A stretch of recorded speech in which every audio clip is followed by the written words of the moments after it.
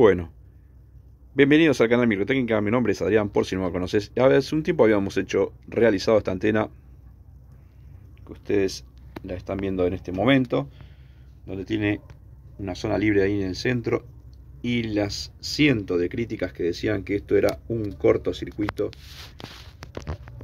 Me decían que esto, yo estaba haciendo cortocircuito entre la malla, el vivo, y que al estar los dos atornillados al boom, que es todo metálico, que esto hacía una masa y que esto no funcionaba y que esto no servía.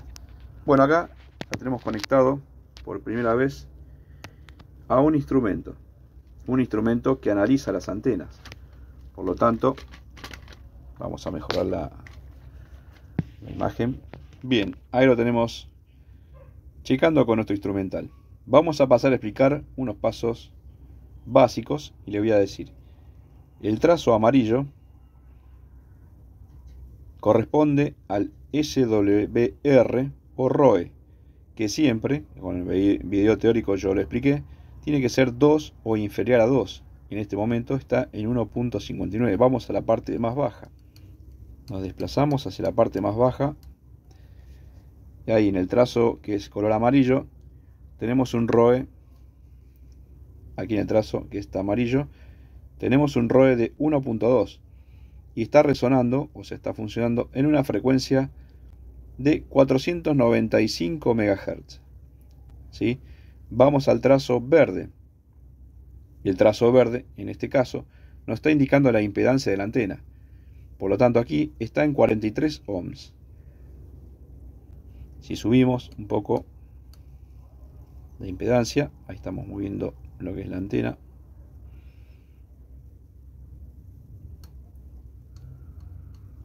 Vamos al valor 1, que es el valor verde de la impedancia. Ahí está en 100 ohms. Ya estaría muy alejado de los 75 ohms que nosotros prácticamente precisamos.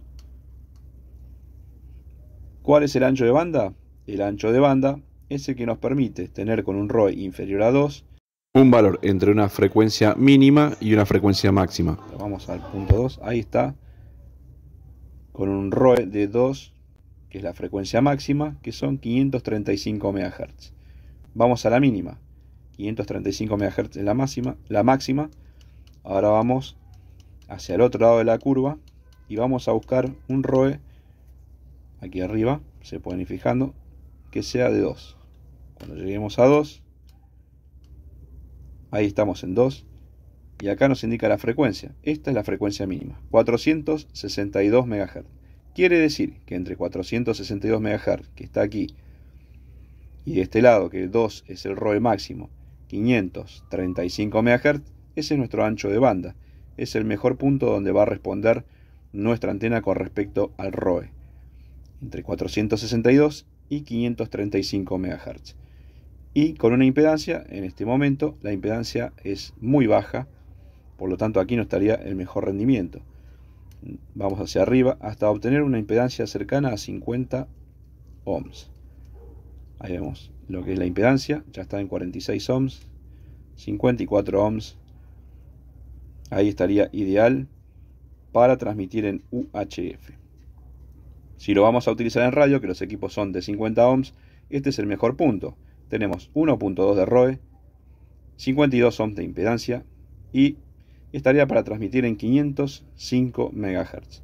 Nosotros calculamos un poco más eh, la frecuencia más alta ya que hicimos un experimento y la utilizamos para probar y recepcionar televisión digital que son nuestro TV es de 75 ohms. Entonces vamos a buscar el punto aquí de, de impedancia de 75 ohms. Vamos. Ahí estamos. 75 ohms aproximadamente sería por ahí 77 ohms de impedancia. Esta antena tiene un, ROE de 1.5, o sea, es inferior a 2, y estaría resonando en 522 MHz, aproximadamente, aproximadamente en la frecuencia central de la televisión digital terrestre y abierta. Ahí pueden ver que acá no le mentimos, está conectado directamente a nuestra antena y lo que todos decían que esto era un cortocircuito, espero que lo hayan comprendido. Para la radiofrecuencia no es un cortocircuito.